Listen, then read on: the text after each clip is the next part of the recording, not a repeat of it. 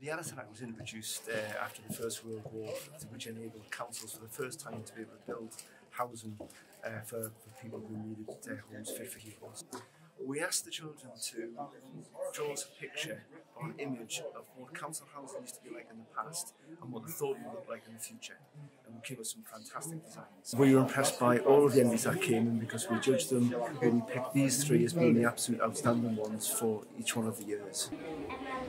And South Shields and like house the um, and, um, I like drawing lighthouses. I wanted it to be eco-friendly um, for the climate change. Got some wooden doors and um, some large windows to let in natural light.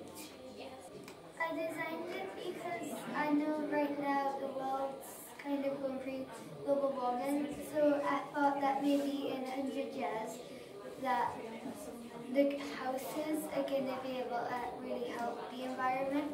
In most houses it probably have solar panels.